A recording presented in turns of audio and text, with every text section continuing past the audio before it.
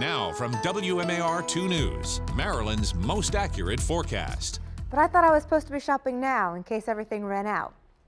Either way, shop now, shop then, looking like good deals and looking like good weather to be inside doing some of that shopping because temperatures are going to be fairly cool as we have a storm system to our north that is going to bring the chance of flurries. It is also going to make it feel like the 30s when we wake up uh, tomorrow morning. Right now, though, we're taking a live look out over toward Baltimore, and we're noticing mostly cloudy skies and locations as we do have the storm system nearby. Temperatures currently 46 degrees out toward Essex, out over toward the Inner Harbor. You're at 47, Columbia 46 degrees as well. But the real deal is, what does it feel like, right? Feels a little bit cooler when you factor in the wind. Feels like 42 in Columbia, feels like 39 in Parkton, and this is with our winds predominantly out of the south. So when we get a stronger wind, that's going to make temperatures feel even cooler.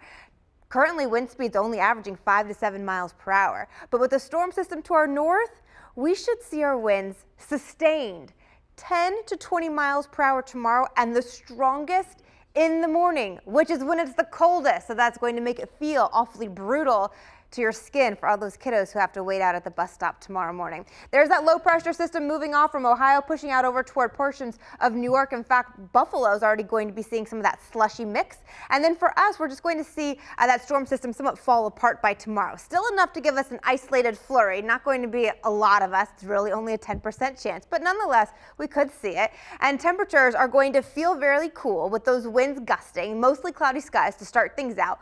As the day progresses, though, we get more sunshine out there. Winds are still going to stay a little bit breezy, so still going to feel a little bit cool out there.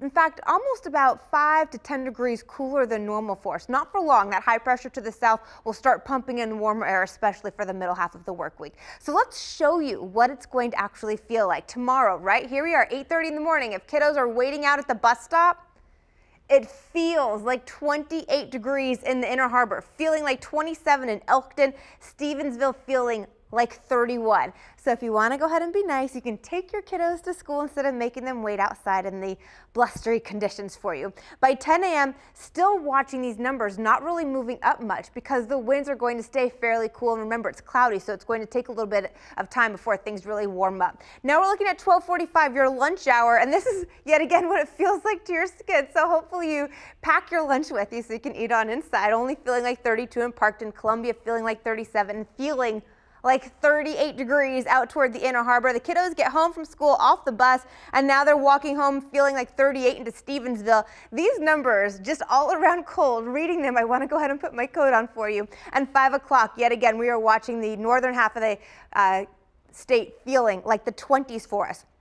When in reality, we are going to see the mix of sun and clouds by 10 a.m. officially 46, but feeling closer to the 30s for you by 4 p.m. There goes that plenty of sunshine on out there. Seven day forecast for you tomorrow. Windy, isolated snow flurries to start. Tuesday, we get a mix of sun and clouds out there. And now you really see the warm up coming into place Wednesday and Thursday.